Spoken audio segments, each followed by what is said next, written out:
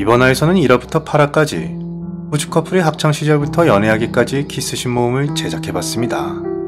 어떻게 보면 8부작이라는 종영이 아쉬움으로 남지만 이 영상을 통해 주마등처럼 스쳐 지나가는 후주 커플의 서사를 함께 감상해보시죠.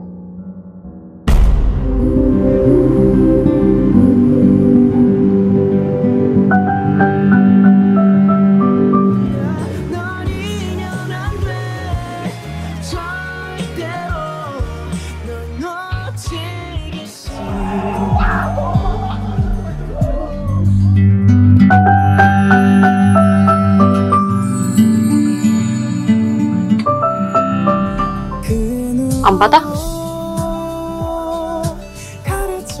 답장 쓸 거지? 도화씨 자, 끝까지 함께 하자. 그지? 강우야, 이거 내 친구 김혜지가 주는 거야. 자 인테그랄 fx dx의 밑줄 슈아 자이 값을 구하 강우야! 야, 강우야! 이거 내 친구 혜지가 주는 거야. 야.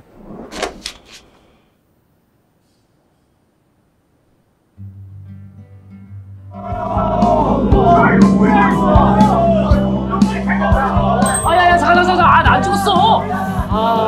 놀라게 강우 형이다. 이상한 일이야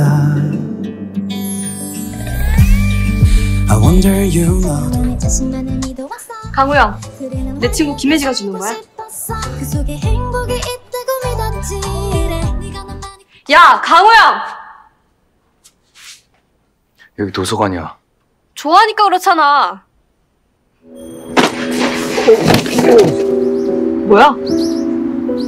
서울대가 이 근처에 있나? 말이 돼? 네가 왜 여기 있냐고. 버스를 잘못 탔어 변명에 성의가 없다. 그럼 너네 집은 철원에 있어? 유독 학생이라는 신분 때문에 버스신이 많았던 부분에 있어 홍주와 후영이는 교복 또한 잘 어울리는 커플이었다. 학교 번호가 뭐였더라? 피자 땡땡이 치는 건 마찬가지인데 그런 협박은 치사하지. 난 땡땡이 아닌데? 제일 빨리 가는 서울버스 언제 있어요? 20분 뒤요. 주세요 음, 그러셔. 그럼 재밌게 노세요. 네가 좋으니까 부끄럽고 널 좋아하니까 그게 무슨 뜻인지 알아도 모른 척하고 싶은 거잖아.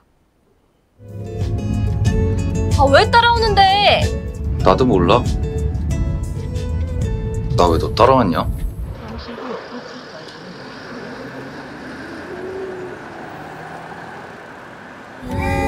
야, 내리자. 왜? 나 따라오는 거라며. 너 연애하러 온 거였어? 아니, 난 고백하러 왔어.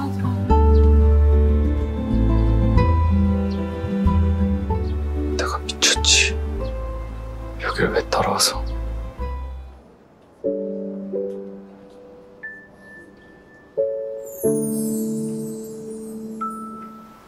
가자 여기 버스 한 대밖에 없어 라면 먹고 갈래? 강우영. 야, 강우영! 강우영. 강우영, 강우영. 야, 강우영! 오빠한테 고백하고 갈 거야. 하지 마 고백 이게 미쳤나? 그럼 이거 먹고 부대 다시 갈까?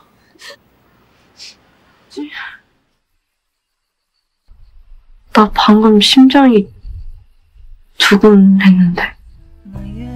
학창 시절부터 홍주와 후영이는 수없이 잦은 만남의 순간이 있었고 그 우연히 시간이 쌓여 우리는 이것을 운명이라 부르는지도 모른다. 그렇게 세월이 흘러 소개팅 자리에서 만나는 확률 그리고 연인이 되기까지 확률을 우리는 인연이라고 부르는 것 같다. 성인 되니까 그 잘생긴 애들이 더 많다고 걔보다.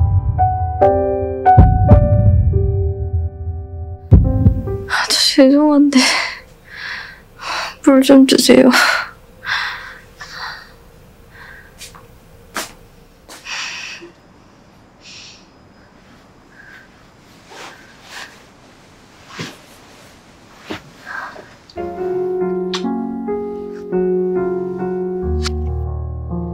많이 아파? 겁나 아파. 아, 그리고 쪽팔려. 내 망한 연애가 너한테 자꾸 들켜서 쪽팔리다고. 그럼 내가 미안해지는데 난 기쁘거든 네 연애가 망해서 강우야, 너 뭐지? 나 방금 심장이 두근 했는데. 이영주 빨리 낫자 발도 마음도 다시 이런 장난치지 마. 장난인 적 없어 지금도 10년 전에도 나는 너 좋아했고 좋아해 이 말 하는데 너무 오래 걸렸다 나 정말 가? 가지 마. 나 너 미국 가는 거 싫어. 안 가? 무르게 없기다. 부르기 없어? 강우 형, 이거 우연 아니다. 내가 너 찾아낸 거야. 너 구하려고. 덕분에 살았다 나 봐봐. 네 얼굴 보고 싶어. 이용주 어? 좋아해 강우 형, 나에게 말해줘 좋아해. 좋아한다는 걸나너 좋아해. 알아? 근데 내가 너보다 더 좋아할걸? 아니야. 내가 더, 더, 더 좋아해. 아 따뜻해서 좋다 사는 동안 우리에겐 얼마나 많은 우연이 일어날까 어떤 우연은 기껏 우연 주제에 삶을 다른 방향으로 틀어놓기도 한다 분명한 건 모든 우연 앞에는 우리의 운명적인 선택이 있었다는 것 운명일까? 사랑해 이용주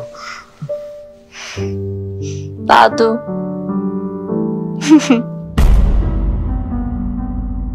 모든 것이 우연으로 시작하여 인연이 넘어 필연이 되기까지 첫사랑이란 소중한 시절 인연을 일깨워준 드라마 우연일까?